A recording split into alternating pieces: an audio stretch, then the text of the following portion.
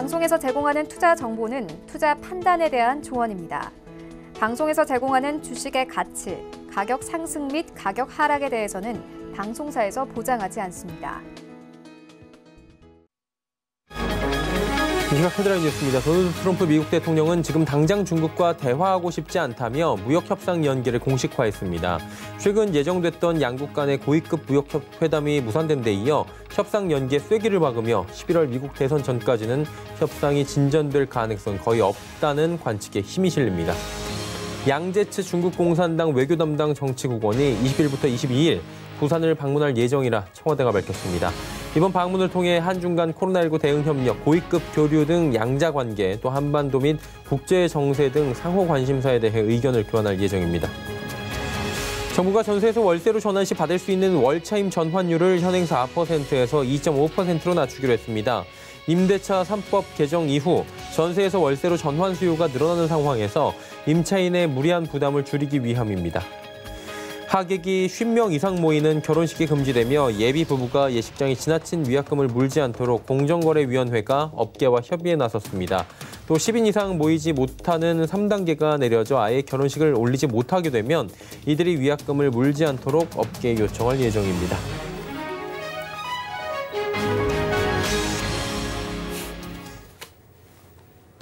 시청자 여러분 안녕하십니까. 오늘장 내일장 출발하도록 하겠습니다. 어제 급락이 있었습니다. 아, 코스피 같은 경우에 2,350선 무너졌고요. 코스닥도 800선대까지 밀려 내려간 바가 있었습니다. 오늘은 좀 반등이 나와주고 있는데 조금 어렵습니다. 어렵다는 이유는 코스피 같은 경우에는 지금 갈팡질팡하는 모습이 보입니다. 1%대까지 상승폭을 키웠다가 상승폭을 0.2%대까지 줄였다가 지금은 0.5%대까지 다시 늘리고 있는 상황이고요.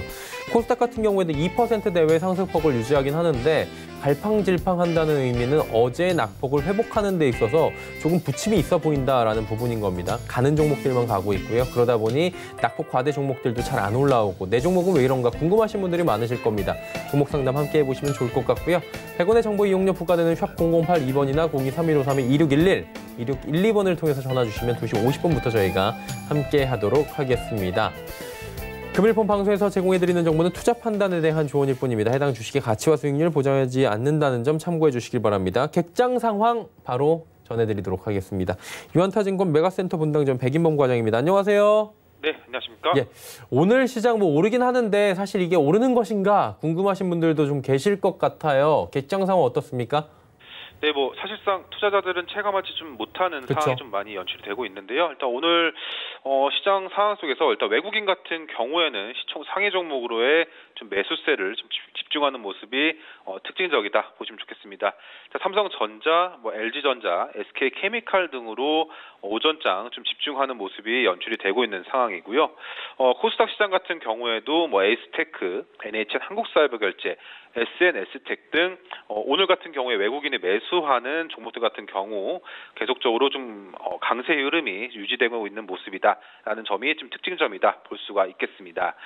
어, 기관 같은 경우에는 이 DB 하이텍, SK 바이오팜, SK 케미칼 등으로 코스피 시장에서는 좀 매수를 하는 모습이 포착이 되고 있고요. 어, 코스닥 시장 같은 경우에도 솔브레인 그리고 셀트리온 헬스케어, SM 등으로 좀 매수세를 집중하는 모습 등과 더불어서 오후 들어서는 콜마 B&H와 카페 24에 대한 매수세가 강화되는 모습 등이 좀 특징점이다라고 볼 수 있겠습니다. 예, 오늘 시장은 한마디로 어떻게 좀 정리를 해 주실까요? 네, 일단 코로나19 관련주 상승세 지속이다라고 좀 정해봤습니다. 물론 이 코로나 관련주 내에서 오늘 뭐 진단키트 관련주들 같은 경우에는 좀 차이 실험 물량 나오면서 좀 상당히 좀 조정이 좀 나오고 있는 모습이긴 하지만 일단 오늘 오전 시장부터 오후 시장까지도 이 코로나19 관련주의 상승세 좀 계속적으로 이어지고 있는 모습이 특징적으로 볼 수가 있을 것 같습니다. 일단 뭐 국내 코로나 확진자 수가 뭐 300명 이상으로 예, 예측은 되긴 했지만 297명 어, 정도로 나온 점 등과 더불어서 이 확진자 확진자 수가 재차 증가하는 상황이 이어지고 있는 점 그리고 또 지난 어, 거래일이었죠. 정부의 이 사회적 거리두기 2단계 시행 등의 소식 등은 이 관련주에 대한 상승 요인으로 오늘 시장에서 어, 작용하고 있는 모습입니다. 일단 백신과 뭐 진단 시약 그리고 방역 테마 등 여러 종목군들의 좀 급등세가 나오고 있는데 어, 역시나 이 관련주들 뭐 대응하기 어려운 상황이긴 하지만 오늘 같은 경우에도 뭐 필로시스 헬스케어, 우리들 제약, 뭐 바이오니아, 뭐 엑세스바이오, 유나이티드 제약 등 이런 강세 흐름이 시장 내에서 특징적인 모습이었고 일단 전일 강했던 진단키트 관련주들 같은 경우 좀 차익 실현 매물 소화 과정이 나오고 있는 상황으로 인식을 하고 있는데 만약에 관심을 가졌던 투자자들하고 했을 때는 이런 조정 시에 매수를 해볼 법한 그런 어, 투자 아이디어를 좀 참고하시면 좋겠다 말씀드리겠고 역시나 마찬가지로 오늘 강세인 종목들 같은 경우에도 단기적으로는 진단키트의 오늘 모습 같은 이런 차익 실현 매물 출에 예상을 하시고 대응 전략 생각해 보시는 게 낫지 않을까 생각합니다. 예. 어, 어제 많이 빠지고 오늘 조금 반등이 나오다 보니까 내일 시장에 대해서 궁금하신 분들 많을 것 같아요. 어렵겠지만 어떻게 좀 예측을 해볼 수 있나요? 네, 뭐 시장 대응 어려운 상황이긴 하지만 일단 다른 관점에서 보자면 더 이상 빠질 것도 없는 종목군들, 그러니까 다른 말로는 뭐 주가 하방 경제성을 다진 좀 종목들을 매매하는 것이 조금 부담이 없지 않나 생각을 하고 있고요. 일단 여기 그 이런 포인트 가운데에서도 하반기 좀 기대할 만한 모멘텀이 좀 있어야 된다라고 보고 있는데 그러한 업종 내에서는 이 섬유 의복 업종, 특히 수출 비중이 높은 ODM 업체들에 대한 관심이 어, 주가 부근도 그렇고 하반기 모멘텀 등을 감안한다면 현 시점에서 좀 관심 있게 지켜볼 만한 업종이지 않을까 생각하고 있습니다. 이 섬유의복 업종 내에서는 영원무역 그리고 화승 엔터프라이즈 한세 예스24 홀딩스에 대해서 어, 관심을 기울이시면 좋을 것 같은데요. 일단 주가 하방 경직성 확보하면서 하반기 실적 회복에 대한 기대감이 있다라는 의견에 좀 주목을 해보시면 좋을 것 같습니다. 참고로 영업 무역만 말씀드리자면 뭐 실적 안정성이라든가 하반기 회복 속도 등을 감안했을 때 이 경쟁사인 한세실업 대비해서 주가가 좀 저평가 상황이다라는 점 등이 부담이 없다라는 점을 포인트로 삼아볼 수가 있을 것 같고요. 어, 그렇기 때문에 이 수출 ODM 업체들 같은 경우 전체적으로는 최악을 지난 시점에서의 이런 선방 기대감이 좀 있다라는 점 등을 포인트로 보시면 좋을 것 같고 어, 반면에 상대적으로 내수 비중이 높은 업체들은 좀 상승 여력이 제한적일 것으로 전망되고 있기 때문에 이들 업체들 위주로 한 어, 대응이 좀 바람직하지 않을까 생각합니다. 예, 객장 소식 들어봤고요. 오늘 말씀 여기까지 듣겠습니다. 고맙습니다. 네, 감사합니다. 백인범 과장과 이야기 나눠봤고요. 이 시각 특징주 또 바로 살펴드리도록 하겠습니다. 정보경 캐스터입니다.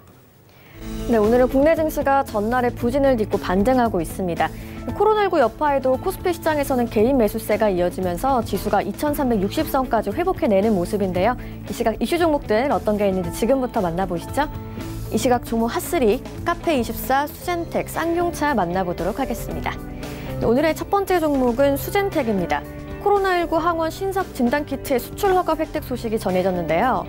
이 같은 소식에 현재 수젠텍이 4% 조금 넘게 오르고 있고요. 거래가 4만 100원입니다. 하루간의 흐름도 확인해 보시죠. 오늘은 최저가 38,500원부터 최고가 44,250원 사이에서 움직이고 있습니다. 수젠텍이 지난 14일 코로나19 항체 정량 검사 키트의 수출 허가를 받은 데 이어서 항원 신속 진단 키트 수출 허가를 획득했습니다. 네, 이번에 수출 허가를 받은 진단키트는 분자 진단과 같이 콧물 등 비인두 수압 검체를 이용해 코로나19 감염 여부를 확인하고 감염 초기 단계에서도 진단이 가능한 것이 특징인데요. 수젠텍은 이번에 수출 허가를 받은 진단키트로 아시아와 남미 시장을 적극 공략할 계획이라고 밝혔습니다. 다음 종목 만나보시죠. 네, 오늘의 두 번째 특징주 반기 보고서에서 거절 의견을 받은 쌍용차가 올라와 있습니다. 쌍용차는 현재 11% 넘게 급락하고 있고요. 거래가 3,125원입니다. 하루간의 흐름도 확인해 보시죠. 오늘 개장 직후에 29% 넘게 급락하면서 하한가 근처까지 내려갔고요. 현재는 낙폭을 줄였습니다. 감사 의견 거절로 매매 거래가 정지됐던 쌍용차가 거래 재개 첫날인 오늘 급락하고 있습니다. 네, 쌍용차는 14일 삼정 회계법인으로부터 감사 의견 거절을 받았다고 공시했는데요. 삼정 회계법인은 쌍용차에 대해서 계속 기업으로서 존속 능력에 의문이 제기된다고 밝혔습니다. 이에 따라 한국거래소는 공시 당일부터 18일까지 쌍용차 주식 매매 거래를 정지시킨 바 있죠. 다음 반기 보고서 제출 때까지 쌍용차가 해당 사유를 해소하지 못하면 상장 적격성 실질 심사 등을 거쳐 상장 폐지 수순에 돌입할 수도 있습니다. 다음 종목 만나보시죠. 오늘의 마지막 특징주는 전자상거래 플랫폼인 카페24입니다. 카페24가 현재 14% 넘게 급등하면서 거래가 7만 1,200원에 형성돼 있습니다. 하루간의 흐름도 확인해 보시죠. 오늘 오전장에 최고가 7만 2,300원까지 터치했고요. 상승폭 키워가고 있습니다. 코로나19 재확산에 따라서 전자상거래 관련 기업에 대한 수혜 기대감이 커지고 있습니다. 예, 카페24를 비롯해서 오늘 NHN 한국사이버결제, 나이스 정보통신 등 관련주들이 동반 상승하는 모습인데요. 특히 증권가에서는 카페24와 관련해서 온라인 쇼핑의 성장률을 감안하면 하반기에도 실적 성장세가 이어질 가능성이 높다며 하반기부터 본격적인 영업 레버리지 효과를 기대할 수 있을 것으로 분석했습니다. 지금까지 이 시각 특징주의 정보경이었습니다. 네, 시장 이슈 또 바로 점검해 드리도록 하겠습니다. 펠리즈 투자인 리서치 김민수 대표입니다. 안녕하세요. 네, 안녕하십니까. 일단은 코로나19가 아, 지금 생각보다 좀 강하게 국내에 영향을 주고 있는 상황입니다. 어제 같은 경우에는 오랜만에 시장이 출렁거리기도 했는데 오늘은 반등이 좀 나오는데 반등세는 시원찮아요. 전반적인 시장 흐름 어떻습니까? 네, 어제 하락했던 부분들을 좀 돌려야 될 텐데 어, 지금 나오고 있는 숫자로 보게 되면 만만치 않다고 봐야 될 것 같고요. 그만큼 시장에서는 그래도 어, 또 코로나19 사태를 잘 대응했다라고 하는 어, K 방역에 대한 자부심이 상당히 높았습니다. 근데 이런 부분들을 한순간에 무너뜨리게 하는 확진자 수가 나오기 시작하고 그에 따라서 방역 당국이나 뭐 정부도 모두 다 당황스러운 모습들이 나오다 보니까 그에 따른 변화가 시장에서 약간 어, 신경질적인 반응이 좀 나왔다고 봐야 될 것 같고요. 어, 그에 따라서 어, 여러 가지 국내 이슈에 따른 압박감은 상당히 크다 보니까 어, 시장에 영향을 끼쳤다고 봐야 될 것 같은데 하지만 이제 글로벌 증시나 지표를 보게 되면 상대적으로 안정적이죠. 환율이나 뭐 유가나 그것도 미국 시장의 동향을 보게 되면 아직 어, 그런 글로벌 지표에 대한 부담감은 없다는 쪽으로 봤을 때 단순하게 국내 이슈에 따른 여러 가지 압박으로 봐야 될 것 같고요. 그런 관점에서 봤을 때 일단 그러면 반대로 말씀드리게 되면 다시 글로벌 증시의 보조를 맞출 수 있느냐라는 부분들은 확진자 수에 따라서 변화가 될 수 있기 때문에 매일 10시죠. 이 정도쯤에서 나오는 확진자 수에 따라서 시장이 어, 출렁이고 변동성이 커질 수밖에 없다는 부분들은 염두를 해야 될 것 같고요. 그런 관점 쪽에서 지금 단기적으로 저점이냐라는 부분에 대해서는 아직 말씀을 못 드릴 것 같습니다. 왜냐하면 여전히 어, 지금 나오고 있는 확진자 수에 대한 변화가 안정이 확인이 돼야 그 다음에 시장에 의미 있는 변화를 보여주고 있기 때문에 그를 먼저 체크를 해야 될 것 같고요. 게다가 또 코스닥 시장은 그 단기적인 밸류에 대한 부담들, 특히 PBR 기준으로 2.5배 정도까지 올라갔던 부분에 대해서 부담감이 뚜렷했다 보니까 나오는 어떤 속도 조절 관점 쪽에서 또 신용 잔고 같은 경우도 과열이 해소됐다고 보기가 좀 힘들죠. 그렇기 때문에 아직까지는 어 지금 시장에 대한 변동폭이 좀 커질 가능성에 대비를 하면서 전략을 짜는 게 좋아 보이고요. 어, 그렇다고 하더라도 언택트와 컨택트 주 중에서 컨택트 주는 당연히 영향을 받는다고 보여지고 있는데 언택트 쪽도 좀 세분화시킬 필요가 있을 것 같고요. 어, 특히 뭐 개인 방역이나 백신 그리고 또 진단 키트 이런 쪽은 아무래도 어떤 trading 관점 쪽으로만 한정적으로 대응하는 게 좋아 보이는데 오히려 좀 중장기적인 이번에 2분기의 실적을 봤을 때도 성장세를 뚜렷이 갖추고 있는 대표적인 플랫폼 쪽이라든가 재택근무, 건기식 관련된 건강기능성 식품 이쪽은 여전히 중기 성장성에도 무게를 줄 수 있겠다라는 관점 쪽에서 일단 어, 계속 어, 좀 길게 시각을 바라보면서 대응한 전략들이 훨씬 더 좋겠다고 바라봐야 될 것 같고요. 어, 그런 측면으로 봤을 때는 일단 시장 자체가 속도 조절에 나온다라는 관점을 어, 눈여겨 보시면서 주도주 중심의 압축 전략에 대응을 하는 게 좋겠다 이렇게 말씀을 드리고 싶습니다.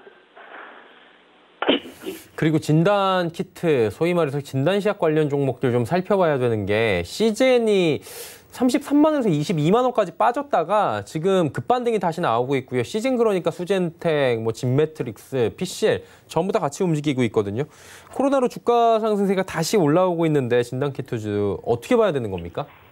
네, 일단 지금 진단 키트주를 바라보면서 지금 확인해야 될 상황들 중에 하나는 일단 지금 언택트 쪽의 대표적인 주자의 변화라고 이제 가장 먼저 봐야 될 것 같고요. 그러다 보니까 이 코로나19가 재확산하면서 가장 먼저 움직였던 대표적인 어, 섹터고 변화라고 보여지고 있는 상황들인데 그런 쪽으로 봤을 때 일단 어, 무엇보다 어, 단기적인 관점 쪽에서 이어지고 있는 어, 확진자 수가 지난 2월 달 부분까지 강하게 변화가 나올 것이냐 이 부분에 대해서 핵심적으로 봐야 될 것 같은데요.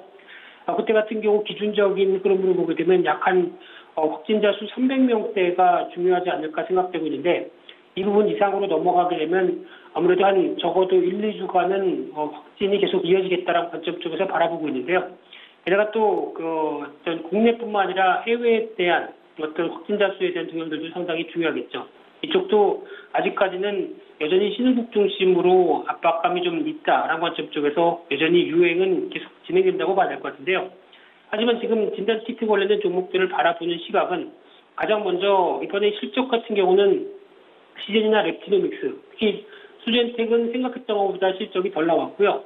EDGC는 자회사다 보니까 여전히 적자인 상황을 보이는데 그나마 어, 실적 개수가 확인된 대표적인 종목이 시젠과 랩티노믹스라고 보여준다고 하더라도 고점 대비해서는 약 또 30% 정도 하락한 상황으로 보여지는데요. 이 부분이 아무래도 실적이 앞으로 계속 좋아질 수 있을 것인가에 대한 물음에 대해서 답을 못 준다라고 보여지고 있는 상황들인데 특히 진단키트 관련된 쪽에서 기술 장벽이 낮다 보니까 다른 해외 업체들도 많이 진입을 하는 상황들이고요. 게다가 수출 단가와 함께 어, 금액의 동향을 보게 되면 4월 달이 가장 고점이었었고 그 위로 5월, 6월 모두 다 어느 정도 하락하는 모습을 본다라고 보게 되면 정점 뒤에 나오는 여러 가지 변화를 고려했을 때 2분기 실적이 가장 좋을 것이 아니냐. 그러면 3분기와 4분기를 이어지면서 아무래도 실적에 대한 어, 어떤 강도는 많이 줄어들 수가 있겠다는 쪽으로 보게 또 진단키트 관련된 쪽에 대한 분기 실적의 부담감들이 뚜렷한 상황 쪽에 무게를 둬야 될 것 같고요. 그러다 보니까 일단은 지금은 변동성이 커질 가능성은 염두를 해두겠지만은 일단은 어, 주가가 단기적인 하락 이후에 되돌림 정도로 해석을 해야 될 것 같고요. 게다가 아무리 국내 확진자가 늘어난다고 하더라도 어, 국내에 대한 진단 키트의 수요보다는 훨씬 더 해외 쪽이 더 많다는 관점 쪽에서 모멘텀은 좀 제한적이다라는 시각으로 바라보셨으면 좋겠고요. 그러다 보니까 오늘 시즌 같은 경우도 중기 저항권인 27만 5천 원대를 못 넘어가는 그런 쪽에서 하락 약세 전환되는 모습들이 나오고 있는데 그러다 보니까 아무래도 지금은 어, 보유하신 분들이라고 하게 되면 일단 어, 고점 쪽에서 특히 반등시 비중을 축소하는 전략 쪽에 무게를 둬야 될 것 같고요. 어, 그런 관점과 함께 또 그래도 종목을 살펴본다라고 하게 되면 어, 진단키트 관련된 쪽에서 바이오니아라는 종목이 그나마 이번에 발표된 실적 대비해서 그렇게 많이 비싸지 않다는 쪽으로 바라보고 있는데 게다가 진단 장비라든가 또 이번에 어, 질병 진단 키트 쪽이 뭐 인플루엔자, 결핵 이런 쪽은 또 어, 겨울 성수기로 들어가고 있는 상황들이죠. 이런 쪽을 봤었을 때 일단 매매 대상은 되겠다라는 관점이지만 일단 어, 고점에서 물리지 말자라는 전략 쪽에서 혹시나 어, 또 확진자 수의 증가와 함께 trading을 하겠다라고 하게 되면 상대적으로 바이오니아라는 종목도 관심 있게 보실 필요가 있다 이렇게 말씀드리겠습니다. 예, 진단시약 관련 종목 이야기까지 함께 나눠봤고요. 오늘 말씀 여기까지 듣도록 하겠습니다. 고맙습니다. 감사합니다. 펠리지 투자인 리서치 김민수 대표와 함께했고요. 이슈 칼럼 이어갑니다.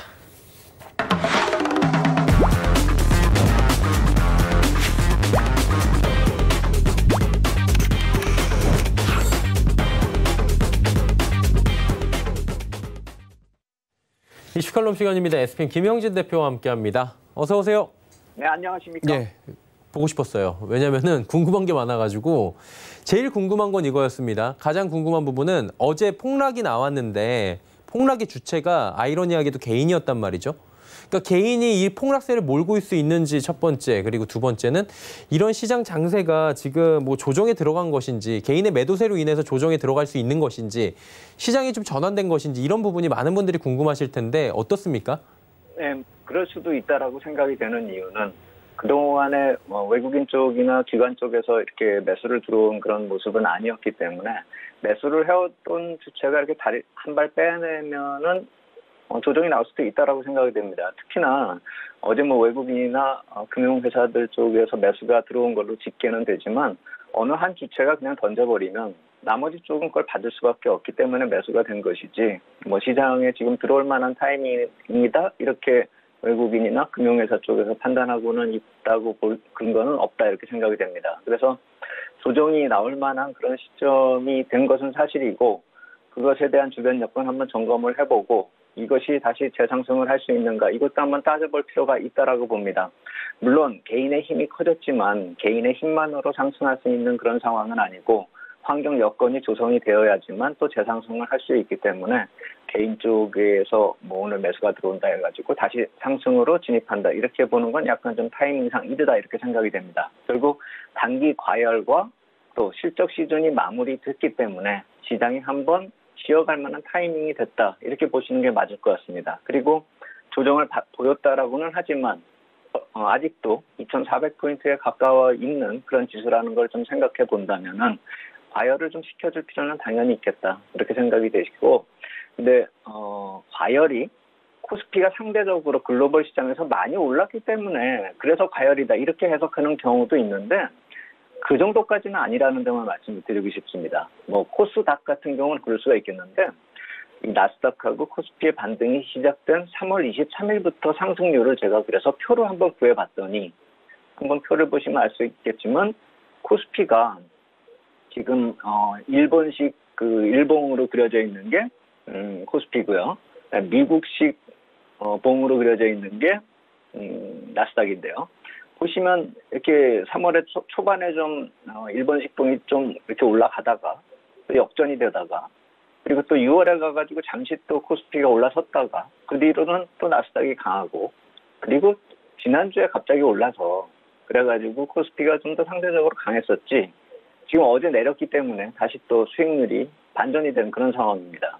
그래서 나스닥보다 오히려 강세다 이렇게 볼 수 있는 시기는 3월 초하고 4월 중순, 6월 초에 잠깐 잠깐 있었고, 있었고 어, 지난주까지 포함해가지고 몇 번 안 된다라는 것이죠. 특히나 2017년 이후를 따져봤을 때는 글로벌 동반 강세 추세로 진입한 이후에는 차별화가 계속 넓어지는, 그러니까 이경력이 넓어지는, 우리가 좀 수익률이 안 좋은 그런 증가, 안 좋은 추세가 증가되는 것이 지속이 되고 있다. 이렇게 봐야 되겠죠. 그렇다면 3월 어, 이후에 뭐 상승률이 좋았다 이렇게 보기보다는 좀 안 좋아졌었던 그런 디커플링이 약간 좀 줄어들었다가 다시 또 원래대로 됐다 이렇게 보시는 게 맞다 이렇게 생각이 됩니다. 그래서 너무 올랐기 때문에 기술적 측면에서 상대적으로 부담이다 이렇게 볼 필요는 없겠다 이렇게 생각되고요. 그리고 2분기 펀더멘털적으로 2분기의 실적 시즌이 강세를 보였다라는 점을 좀 우리가 포커스를 보면서 하나는 좀 그게 어, 실적 시즌이 강세가 마무리됐기 때문에 그러니까 실적 시즌이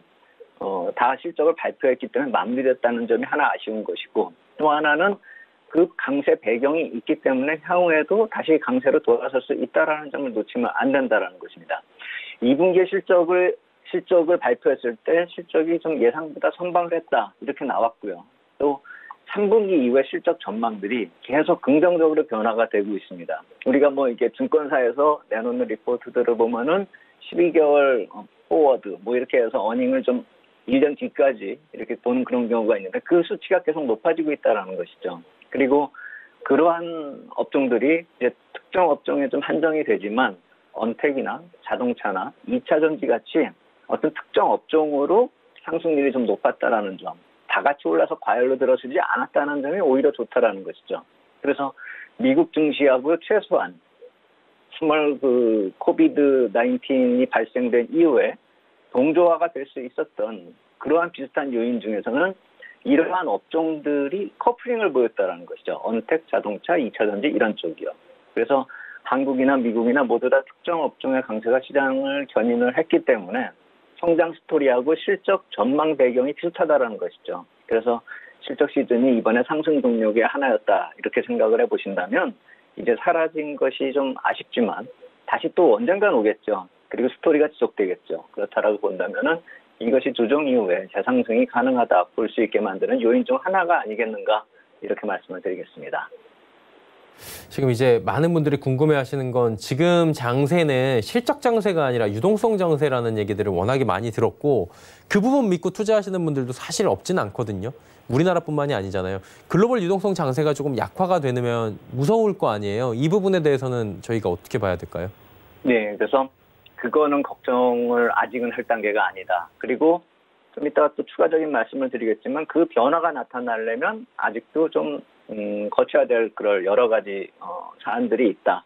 이렇게 이벤트가 있다. 이렇게 보시는 게 맞겠습니다. 특히나 최근에 이제 금리 얘기가 자꾸 툭툭 나오고 미국에서 이제 국채 공급 음, 물량 과다하다 이 얘기는 계속 말씀을 드렸는데 그것이 진행이 되고 있거든요. 지난주에도 진행이 됐고 이제 이번 주엔 오늘 밤부터 내일까지 진행이 되고 또 다음 주에도 음, 주 중반에 진행이 되고요. 그래서 계속 반복이 되고 있는데 그렇기 때문에 나타나는 좀 금리 상승이 좀 조금 나타나고는 있다라는 점이 어, 위기하고는 전혀 상관이 없는 일시적인 현상으로 파악해야 되는 그런 흐름이기 때문에 그 수급상의 일시적인 요인이다 이렇게 봐야 되는 것이죠. 그래서 그렇다라고 본다면은 유동성 흐름의 어, 근원이라고 볼 수 있는 미국 채권 시장의 수익률 흐름을 한번 다시 보겠습니다. 제가 최근에는 이 채권 ETF 가격으로 이렇게 보여드려 가지고 상승을 하고 있는 것처럼 표시를 해가지고 좀 더 이해가 좀 빠르지 않을까 이렇게 말씀을 드렸는데 오늘은 있는 그대로 어, 채권 수익률을 그대로 표시를 했습니다. 그러니까 이게 낮아지면 좋아지는 수익률이 낮아지면 가격이 올라가고 어, 채, 채권 시장이 안정이 된다 이렇게 보시면 되는 것입니다. 그래서 제가 음, 반등을 보였었던 그러니까 채권이 반등을 보였으니까 자금 시장이 악화 현상을 보였었던 세 가지 경우 그러니까 3월과 6월 그리고 최근 지난주에 약간 반등을 보였었던 그 흐름을 비교하기 위해서 오렌지 박스권으로 표시를 해놨습니다. 그래서 3월에는 많이 올라왔죠. 첫 번째 어, 제일 왼쪽에 있는 거요. 그리고 가운데 있는 거 약간 좀 그거보다는 낮지만 그래도 반등을 보였고 이번에도 또 반등을 보이고 있습니다. 그러니까 채권 시장이 약간씩 좀 불안했었다라는 것이죠. 그런데 자세히 보시면 장기물, 그 파란색 장기물 30년 30년 국채가 가장 위로 쳐올리고요. 빨간색 선이 그 다음이고 까만색 선이 그 다음에 반등이 강하지 않습니까? 근데 왼쪽에는 단기물이 까만색 선이 빨간색 선까지 빠르게 쫓아오, 쫓아오고 있는데 이 가운데 6월만 보더라도 까만색 선이 반등을 하긴 하는데 좀 아래쪽에 머물러 있죠. 6월에 비하면은 아 3월에 비하면 6월이 안정적이었다 이 말씀을 드리는 것이고 제일 오른쪽의 박스권은 지난주의 모습인데 파란색이나 빨간색 선이나 반등을 하였지만 까만색 선은 아예 움직이지도 않고 있습니다. 결국 이것은 발행되는 채권 물량이 많기 때문에 단기적인 수급 현상으로 해당 발행물만 약세를 보였다. 이렇게 보시는 게 맞겠고 단기물이 저렇게 움직이지 않고 있다라는 것은 자금 시장에 전혀 이상이 없다라는 것을 뜻하는 것이죠. 그러니까 왼쪽에 두 개하고 지금 현재 시점이 같은 점은 어, 반등이 나타났다라는 점이 그 점 하나만이 같은 것이고 다른 점은 반등의 높이가 점차 점, 점점 낮아지고 있고 단기물은 반등도 안 할 만큼 시장이 안정적이라는 것이죠. 특히나 여기에 연동돼 가지고 달러 약세 흐름이 계속 지속되면서 달러 인덱스 계속 낮아지고 있는 것이죠. 그렇다라고 본다면 지금 자금 시장이 뭐 위기 이런 거하고는 거리가 있는 것이 당연하다고 봐야 될 것이고 안정성조차도 전혀 문제가 없다라는 점 그리고 조정이 나올 만한 시점이기 때문에 타이밍상 맞지만 이 자금 시장을 놓고 봤을 때는 급락이나 시장 상승이 마무리되었다. 유동성이 끝났다. 이렇게 볼 필요까지는 없는 것이죠. 그러한 근거를 이 채권 시장에서 충분히 읽을 수 있다라는 것이죠. 그래서 예전에 말씀을 아 지난주에 말씀을 드렸죠. 자산 시장 상승 마무리 조건이 되려면 달러가 강세로 들어서든지 금리가 최소한 두세 번 반등을 해서 기준금리 미국 금 기준으로 1%에서 1.25% 정도까지가 되는 그 상황이 도달된 다음에 걱정을 할 일이지 지금 걱정할 일이 아니다라는 점을 놓고 봤을 때는 최근에 나타나셨던 금리 반등 같은 것이 그것하고는 거리가 있고 달러 쪽에서는 전혀 움직임이 없기 때문에 지금 어떤 상승 추세가 끝났다 이렇게 볼 근거는 없다 이렇게 말씀을 드리겠습니다. 일단은 지금 미국 쪽에서 얘기가 나오는 게 지금 공화당이랑 민주당이랑 싸우는 게 공화당은 경기 개선되고 있다. 그러니까 3천만 달러로 옮길 수가 없다라고 얘기하는 거고 민주당 그래도 올려달라라는 거잖아요. 한마디로 경기 개선 시그널이 나오고 있다라는 부분을 다시 돌려서 얘기하면 제로 금리가 이제 올라갈 수도 있다라는 부분이잖아요. 유동성 악화 부분으로 또 볼 수 있는 건데 이 부분은 시장에서 또 조금 긴장하는 것 같긴 해요. 어떻게 보십니까? 맞습니다. 근데 그것이 어, 가시화가 되면 한 번 정도 급락도 나타날 수 있다라고 생각이 됩니다. 그래서 오늘 밤에 이제 20년물 채권이 발행이 되고 또 하나 시장에 관심이 가고 있는 것은 하도 이것을 뭐 이렇게 외신 쪽에서 나온 것을 한국에서 보도를 하니까 그대로 읽혀지고 있는 그, 그 점인데 포워드 가이던스 이 얘기 나오지 않습니까? 그게 오늘 연준 회의록 공개가 나오면서 금리에 대해서 제로 금리를 철회하고 앞으로는 강세도 갈 수 있다. 이렇게 어떠한 조성이 될 수 있는 분위기를 조성이 될 수 있는 그런 힌트가 나오지 않겠는가? 그것이 이제 단기 불확, 불확실성으로 이번 주에 부각이 되고 있는 것이죠. 근데 제가 봤을 때는 과연 나올 수 있을까? 상황 자체가요. 그리고 제가 8월 초에 고, 어, 공개된 재무부 3분기 경제 어, 보고서 내용을 계속 말씀을 드리고 있는데 거기서 그러한 비슷한 것이 거론되지 않았고 그렇기 때문에 설사 나오더라도 시장에 충격을 줄 만큼 과격하게 인용이 될까? 이것에 대해서는 의문이라는 것이죠. 그래서 불확실한 경제 흐름하고 그에 대한 정책이 지속된다라고 약속이 된 그런 상황 하에서 갑자기 바꿀 이유가 없다라는 것이고 이 8월 초에 공개된 그 재무부 보고서가 7월 FMC 회의 이후죠 시간상으로 그렇기 때문에 FMC 회의 쪽에서 어떤 결론이 났는데 재무부가 딴소리를 할 필요가 없겠죠. 그래서 재무부하고 FMC가 서로 다른 정보에 기반을 두고 다른 시각으로 정책을 보고 있다라는 것이 아니라면은 시장에 충격은 주지 않을 것이다. 안 나올 가능성도 있다. 시장에서 오히려 forward guidance 안 나오길 바라는 것을 시장에 퍼뜨리면서 어, 분위기를 잡고 있는 것이 아닌가 이렇게 볼 필요도 있는 것이죠. 그래서 만약에 확률이 낮지만 뭐 금리를 어떻게 반등을 추세적으로 만들 만한 그런 환경 요인을 어, 툭 던져준다라고 한다면 이번에 보고서에서 그런 힌트가 나온다라고 한다면 시장에 충격을 한번 줄 것은 확실합니다. 가능성은 낮지만 그래서 만약에 이런 급락 파장이 한 차례 나온다라고 한다면 시장이 정말 끝났다 이렇게 생각을 하면서 시장이 움직일 텐데 제가 봤을 때는 아까 말씀을 드렸듯이 금리가 두세 번 올라가는 그런 금리 1차 반등이 나타나는 것을 이러한 회의록이 제시를 하면서 급락이 나타난다라고 한다면 시장의 그 재료가 반영되는 과정으로 볼 필요가 있다라는 것이죠. 특히나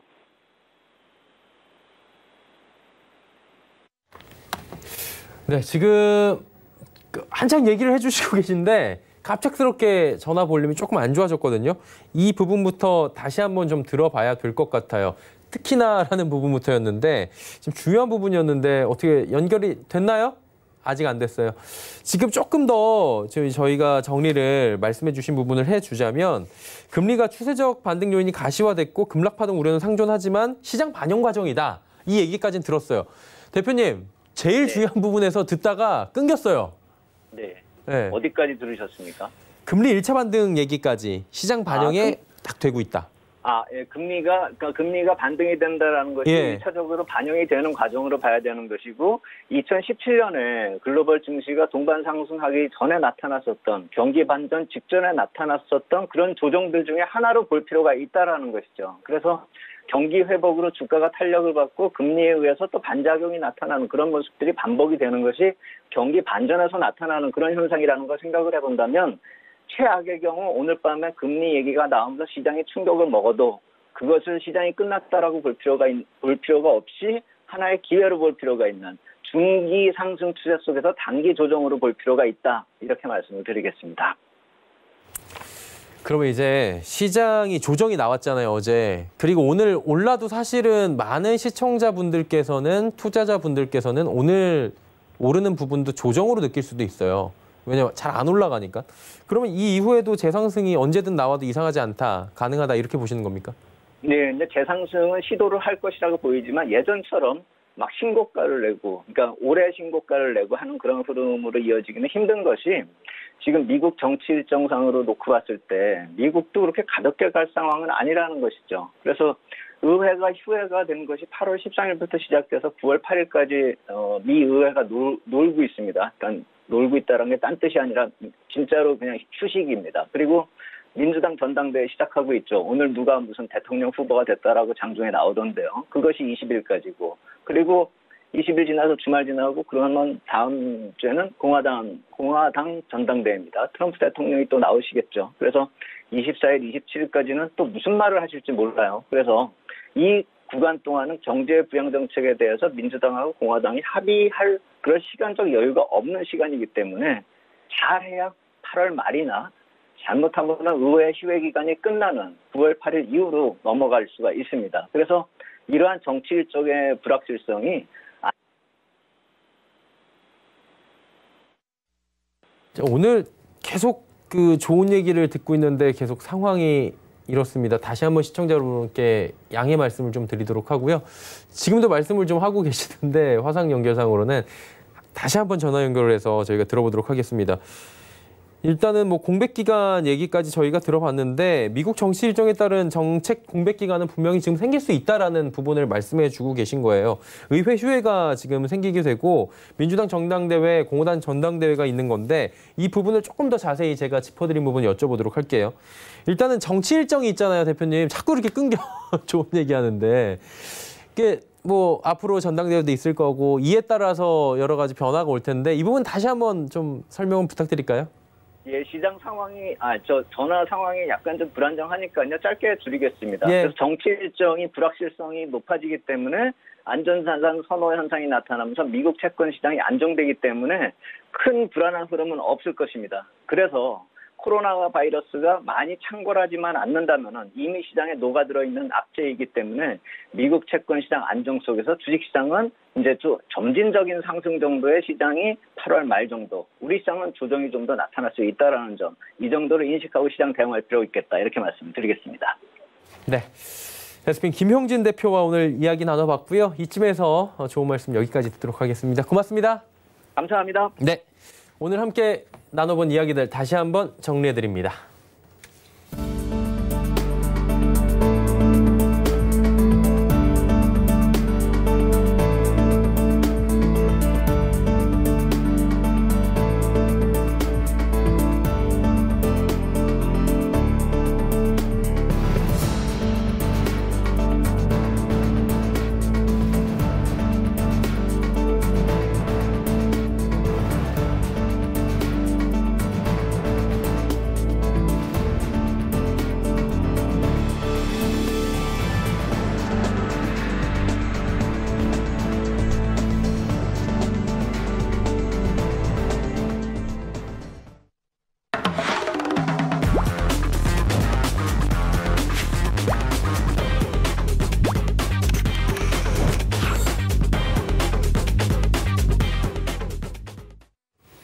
이제 종목 이야기 나눠보도록 하겠습니다. 샘플러스 이주연 전문위원과 함께합니다. 어서 오세요. 네, 안녕하세요. 그뭐 시장 상황에 맞지 않는 얘기긴 한데 이발하셨네요. 아, 네. 예, 시원시원하게 하신 것 같습니다. 무더위에. 예, 시원하게 포트도 변경이 됐는지 저희가 이제 종목 상황을 좀 알아볼 텐데요. 먼저 운영 방식부터 먼저 설명을 해드릴게요. 자, 보시는 바와 같습니다. 아, 매일같이 말씀드리지만 종목 편입 매수가는 지정가고요. 다섯 종목 포트에 편입합니다. 수정 횟수는 3회 제공해드리고요. 근데 수정은 잘 안 하셔요. 이주연 전문위원이. 아, 소개된 두 종목 오늘도 나갈 거고요. 그 종목 가운데 한 종목을 시청자 여러분께서 직접 전화 투표로 선정을 해주시면 됩니다. 예, 지금까지의 누적 수익률과 현재의 포트폴리오 상황들 살펴보도록 하겠습니다. 만나보시죠. 많이 추천을 해주셨습니다. 어, 대다수가 지금 목표가 달성하면서 빠져나가긴 했는데 물론 이제 선절가 이탈 당연히 종목이 나옵니다. 이렇게 어, 유나이티드 제약처럼요. 다음 보겠습니다. 뭐 매일같이 보고 계실 수도 있겠지만 어, 일양약품과 이글벳은 빠져나가는데 손절가 터치로 빠져나오고 나머지 세 종목은 특히 동화성 12.5% 단숨에 돌파하면서 나갔고요. 다음 보겠습니다. 유니온부터 한국카본. 한국카본은 사실 포트에서 그냥 좀 지루해서 그리고 포트 운영에 묘를 더하기 위해서 제외했다라고 보시면 될 것 같고요. 다음 보겠습니다. 예, 첼시스부터 종근당 바이오 여기는 스튜디오 드래곤과 종근당 바이오가 손절가 이탈 혹은 포트에서 제외가 또 됐고요. 다음 보겠습니다. 한국주정, 에코바이오, 코롱생명과 여기는 조금 이탈된 종목이 더 많긴 한데 유니온이 무려 17%의 수익을 냈네요. 다음 보겠습니다. 자, 러셀까지 손절가 이탈을 하면서 초용 수익률은 93.7% 그래도 90% 유지를 하고 있고요. 다음 보겠습니다. 현재 포트폴리오 상황인데 삼성물산, 녹십자 랩셀 두 종목이 있고요. 삼성물산은 오늘 반등에 성공하면서 수익률이 마이너스가 좀 줄어들었고요. 녹십자 랩셀은 상승폭을 키웠습니다. 예, 두 종목이 지금 포트에 담겨 있는데 아, AS 좀 부탁드릴게요. 네, 어, 일단 먼저 추천드렸던 삼성물산부터 어, 이야기를 드려야 될 것 같아요. 삼성물산이 이제 손절가 까지 딱 밀렸다가 어, 반등이 어, 나오면서 오늘 지금 어, 상승세로 어, 마감을 하고 있는 모습인데 뭐 아직 마감을 한 건 아니지만 어, 5일선 저항을 조금 받으면서 양봉으로 마감할 가능성이 좀 높다 이렇게 생각이 됩니다. 분봉상 흐름을 보게 되면 어, 최근에 이제 주가 이제 고점에서 어, 약간 횡보하면서 저항이 만들어졌던 가격대가 어, 현재 가격대 부근이에요. 그러니까 12만 원, 12만 1,500원 어, 요 가격대이기 때문에 요 가격대 지금 다시 돌리면서 추세를 어, 상승으로 단기 추세를 상승으로 전환을 하려고 하는 그런 흐름이 보이고 있다 이렇게 보시면 될 것 같고 앞서서 이제 소개해드렸던 삼성생명하고 어, 삼성물산, 어, 삼성전자의 지분 부분 지분 가치 부분 때문에 이제 상승을 한다고 말씀드렸는데 어, 두 종목 역시 괜찮은 흐름 보이고 있는 상황이고요. 어, 이대로 시장이 뭐 급격하게 막 무너진다든지 그런 부분이 안 나온다 하면 어, 무난하게 우상향하는 흐름으로 갈 가능성이 높으니까 이 종목 어, 보유하는 관점으로 음, 접근해 보시고 지금 어, 내수 관점으로도 접근이 괜찮은 것 같아요. 내일 정도 어, 음봉으로 뭐 거래량 더, 더 없어지면서 음봉이 어, 짧게 나온다 하면 어, 그렇게 만들어지고 어, 그 다음날부터 또 상승세가 이어질 가능성이 좀 높다 생각을 하는데 내일 음봉 나온다면 내일 한 번쯤 어, 공략해 볼 만한 자리가 되지 않을까라는 생각합니다. 그건 내일 또 뭐 AS에서 말씀을 드리도록 하겠고 어, 녹십자 랩셀이 오늘 시세가 조금 괜찮게 나와주다가 지금 앞에 어, 보이시는 요 이제 어, 저항 구간에서 어, 매물 출회로 인해 가지고 어, 조정을 좀 받고 있는 그런 상황입니다. 어, 거래량이 상승하는 흐름은 어, 상상이 괜찮다라는 생각이 들고요. 어, 저께 이제 추천 드리고 나서 아래꼬리가 좀 너무 길게 잡히는 모습이 나왔었어요. 이게 이제 어, 방송 마치고 장이 이제 급격하게 어, 추가적인 급락이 나왔고 어, 이 종목 역시 급락이 어, 같이 시장 영향으로 급락이 나왔다가 장막판에 이제 급격하게 끌어올리면서 어, 시세에 이렇게 올라왔습니다. 지금 보시면 어, 어저께 시세 이제 급격하게 끌어올린 이후에 주가가 어, 더 이상 밀리지 않고 어, 유지를 하고 있는 그런 흐름을 보이고 있거든요. 음, 오늘 비록 윗꼬리가 달렸지만 어, 여기 상단에 있는 매물대를 어느 정도 소화를 하는 그런 흐름이라는 생각이 들고 거래량이 이제 뭐 크게 터지면서 윗꼬리가 나온 부분이 아니기 때문에 어, 정고점 부근까지는 어, 무난하게 상승하는 흐름이 이어질 가능성이 좀 높다라고 생각이 듭니다. 그래서 어, 64,900원 정도 어, 목표가 제시해드렸는데 그까지는 어, 무난한 흐름이 이어질 거다 어, 이런 생각이 듭니다. 네, 두 종목에 대한 AS 해봤고요. 이제 포트폴리오가 많이 비어 있습니다. 하나하나 채워야 될 것 같은데 어떤 종목으로 채울지 이제 오늘 후보군들을 만나보도록 하겠습니다. 전해주시죠.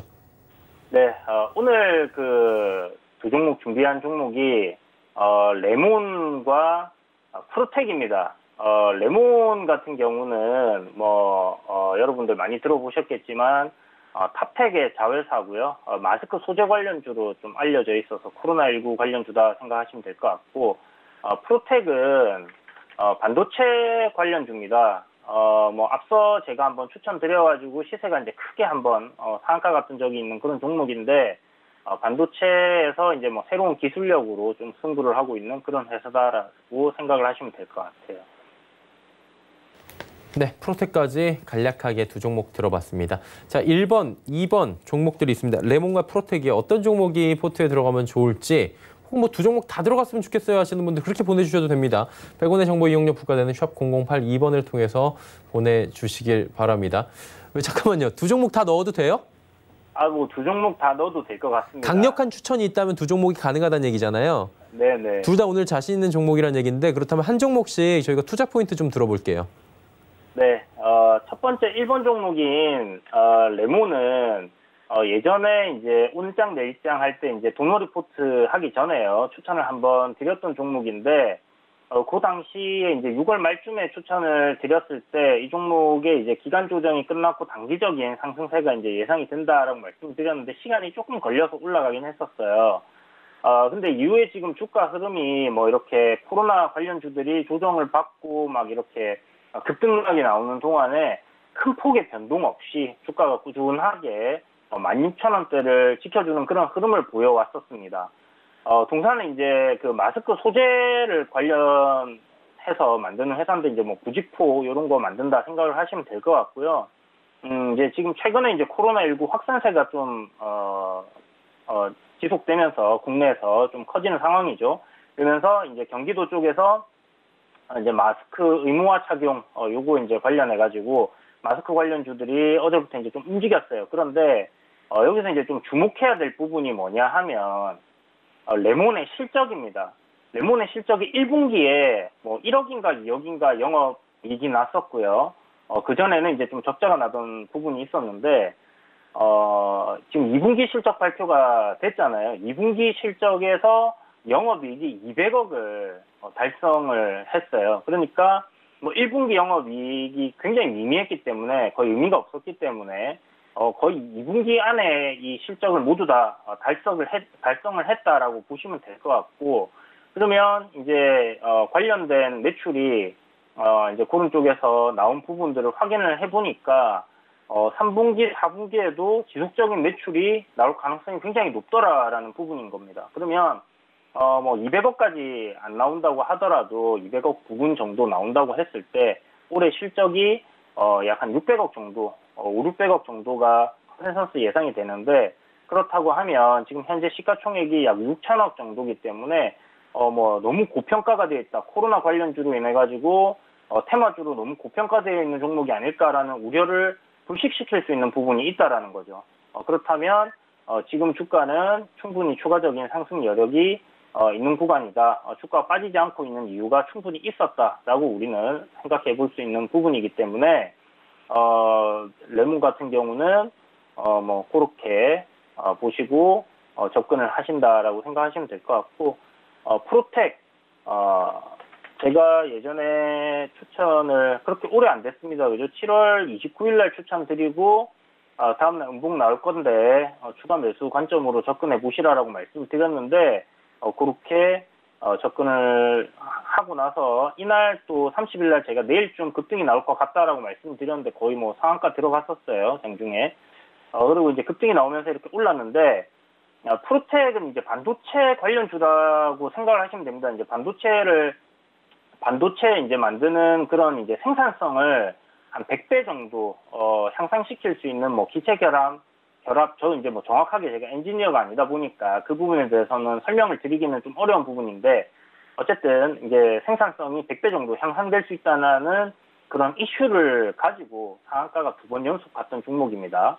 어 그리고 나서 기간 조정을 거치고 급등이 나왔는데 최근에 이제 그 지수가 어, 추세대 상단에서 밀리기 시작하면서 이 종목 역시 지금 현재 보시는 것처럼 추세대 하단까지 어, 조정이 나온 부분입니다. 그래서 어, 이런 식으로 이제 저가까지 단기간에 어, 밀려 내려왔기 때문에 매수 관점으로 보면 좋지 않을까라는 생각을 하고 있는 종목이고요. 어, 오늘 보시는 것처럼 지금 이게 이제 어, 아래꼬리를 길게 달았는데 굉장히 어, 저점 구간에서 긴 아래꼬리가 나왔습니다. 물론 거래량이 없기 때문에 어, 큰 매도세가 나왔다기보다는 어, 그 기존에 대기하고 있던 매수세 가 이제 좀 들어오면서 어, 이렇게 아래꼬리 길게 잡혔다. 한 8% 정도가 올랐는데요.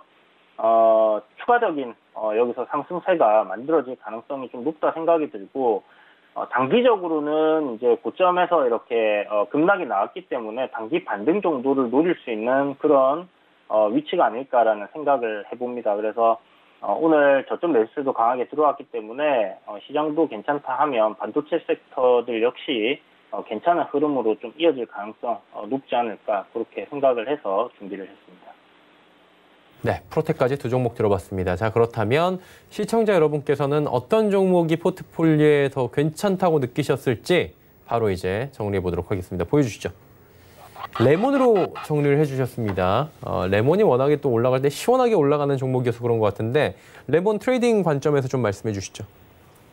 네, 일단 그 오늘 종가 정도 음봉으로 시가부터 하락해서 밀리고 있는 상황인데요. 오늘 종가 정도의 매수를 하시면 괜찮을 것 같고 지금 현재 이 종목 같은 경우는 보시는 것처럼 어, 약 한 17,000원에서 17,000한 원 2, 300원 가량이 어, 조금 의미가 있는 어, 가격대예요. 앞에 보시면 한동안 이 저항대를 돌파하지 못하고 있다가 돌파한 이후에 어, 요 고점에서의 매물을 지금 어, 소화를 하는 흐름을 보여줬거든요.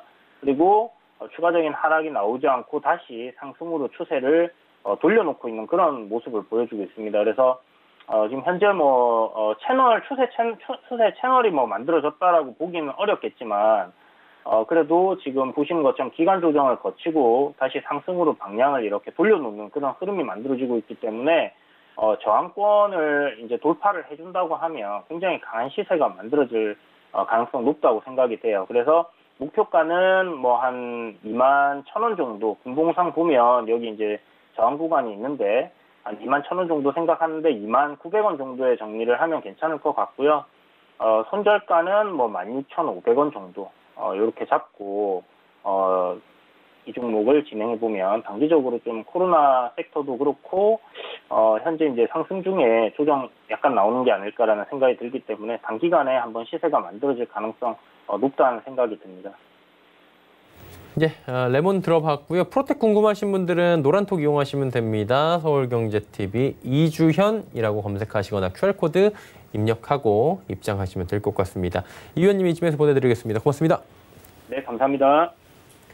금일폰 방송에서 제공해드린 정보는 투자 판단에 대한 조언이었습니다. 해당 주식의 가치와 수익률 보장해드리지 않는다는 점 참고해 주시길 바랍니다. 저희가 준비한 소식은 여기까지입니다. 잠시 뒤에는 마감 임박 60분의 승부 이어집니다. 함께해 주시길 바랍니다. 고맙습니다.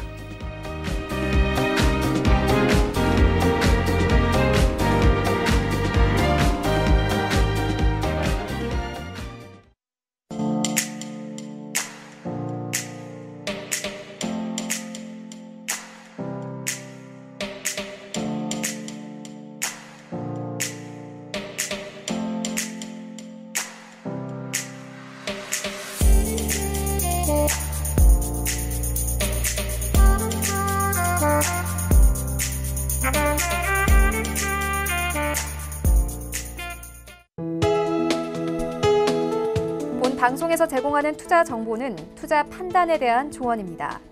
방송에서 제공하는 주식의 가치, 가격 상승 및 가격 하락에 대해서는 방송사에서 보장하지 않습니다.